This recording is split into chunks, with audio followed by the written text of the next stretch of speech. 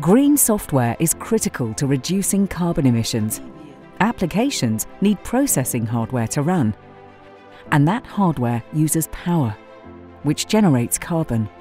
If you can create applications that are more efficiently designed, that run at optimal times to take advantage of greener energy,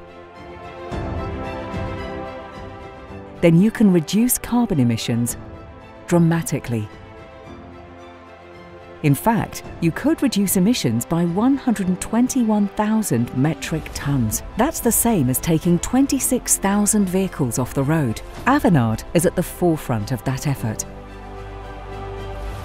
We're a steering committee member of the Green Software Foundation, helping to write new standards that aim to make software greener. In close collaboration with some of our clients, we're creating a development environment that allows software engineers to forecast potential carbon emissions as they type. As software engineers change the application and commit their code, static code analysis can measure changes, helping identify how this code could be made greener and more efficient. We use a carbon-aware software development kit that allows our software engineers to schedule applications to run at optimal times to take advantage of greener energy. When the application or feature is ready to be launched, continuous integration and deployment tooling like GitHub Actions and Azure Pipelines can forecast carbon emissions by firstly looking at how specific changes to an application might impact carbon emissions.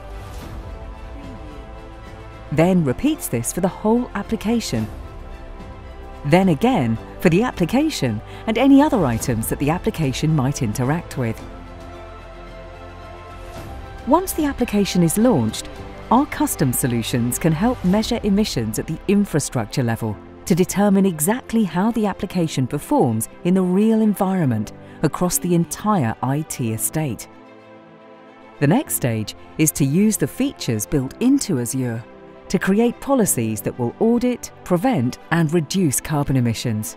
Writing these policies to ensure optimum effectiveness takes considerable expertise. Hence, this is a critical part of the service we offer clients. The final stage is to use telemetry, cloud carbon footprint tools, and the emissions impact dashboard within the Microsoft Sustainability Cloud to view total emissions from across an entire company's operations. Find out how we can help you improve your sustainability